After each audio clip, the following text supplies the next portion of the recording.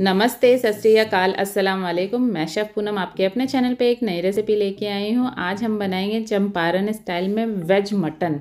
Veg mutton यानी कि कटहल। कटहल का सीज़न है तो कटहल की ये नई रेसिपी को ज़रूर ट्राई कीजिएगा। आई होप आपको बहुत पसंद आएगा। बहुत ईजी रेसिपी है, इसे कोई भी बना सकता है। तो चलिए इसे फटाफट बनाना सीखते हैं। अगर आप मेरे चैनल पर नए हैं तो वीडियो को लाइक करें, चैनल को सब्सक्राइब ज़रूर करें।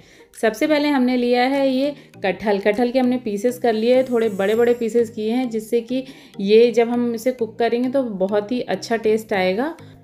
कटहल हमने लिया है 700 ग्राम। इसमें हम प्याज के स्लाइस ऐड करेंगे और जितना कटहल है, उसका हाफ़ हमें इसमें प्याज के स्लाइस ऐड करने हैं और इसे हाथों से आप क्रश कर लेंगे तो सारे स्लाइस अलग अलग हो जाएँगे और इसे हमने इसमें ऐड कर दिया है। अब इसमें हमें कुछ स्पाइसेस भी ऐड करना है। उससे पहले हम इसमें जिंजर गार्लिक का पेस्ट ऐड करेंगे। टू टेबल स्पून दो से तीन हरी मिर्च ऐड करेंगे। साबुत हरी मिर्च हमें ऐड करना है।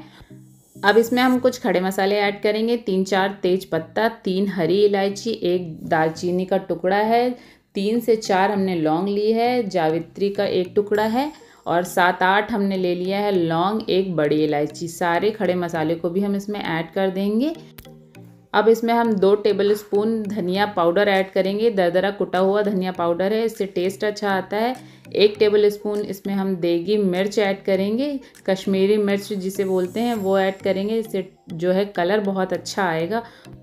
वन टीस्पून इसमें हम चिकन मसाला ऐड करेंगे। इसी से बहुत ही अच्छा टेस्ट आने वाला है इस वेज मटन में। और अब हम इसमें ऐड करेंगे half teaspoon chilli powder. Chilli powder आप अपने अकॉर्डिंग कम या ज़्यादा कर सकते हैं। हाफ़ टी स्पून इसमें हम हल्दी पाउडर ऐड करेंगे, जिससे कि कलर बहुत ही ज़्यादा अच्छा आए। सारे स्पाइसेस ऐड करने के बाद लास्ट में हमें इसमें जो है सॉल्ट ऐड करना है अपने टेस्ट के अकॉर्डिंग हाफ़ टी स्पून इसमें हम गरम मसाला ऐड करेंगे. ये घर का बना हुआ गरम मसाला है. इसका लिंक हमने डिस्क्रिप्शन बॉक्स में दे रखा है. और लास्ट में हमें इसमें ऐड करना हुआ है हल्का सा गरम करके ठंडा किया हुआ मस्टर्ड ऑयल और ये हमने जो है इसमें ऐड कर दिया है. दो हमने साबुत लहसुन भी ऐड कर दिए हैं क्योंकि मटन में साबुत लहसुन ऐड करते हैं. तो इसमें हम चार टेबल स्पून ऑयल हमने ऐड कर दिया है मस्टर्ड ऑयल और इसे हमें अच्छी तरीके से मिक्स कर लेना है। मिक्स करने के बाद हम इसे 10 से 15 मिनट के लिए रेस्ट करने देंगे कवर करके। आप चाहे तो डायरेक्ट भी बना सकते हैं, लेकिन रेस्ट करने देंगे तो इसमें जो स्पाइसेस हैं अच्छी तरीके से मिक्स हो जाएँगे फ्लेवर अच्छा आएगा। अब हम वेज मटन जो हमने मैरिनेट करके रखा हुआ था, उसको इसमें ट्रांसफ़र कर देंगे। इसमें थोड़ा सा मसाला लगा था तो हल्का सा पानी ऐड कर देंगे और इसे कवर करके एकदम स्लो फ्लेम पे कुक करेंगे 10 मिनट के लिए। और बीच बीच में हमें इसे चलाते रहना है। ये जो वेज मटन है, इसको आप किसी भी बंद बर्तन में कुक करें, जिसकी जो तल्ली होती है, वो एकदम मोटी होनी चाहिए। आप चाहे तो कुकर में भी इसे कुक कर सकते हैं, कढ़ाई में बिल्कुल भी इसे कुक ना करें, वरना वो टेस्ट नहीं आएगा। अब इसमें हम आधा ग्लास पानी ऐड करेंगे, क्योंकि ये जो है कटहल है, कटहल कभी भी पानी नहीं छोड़ता है, इसलिए हम इसमें पानी ऐड कर देंगे। उसके बाद हम इसे फिर से कवर करके इसे कुक करना है एकदम स्लो फ्लेम पे। बहुत इजी रेसिपी है, आपको ज़्यादा इसमें जो है मसाला भुनने की ज़रूरत नहीं है।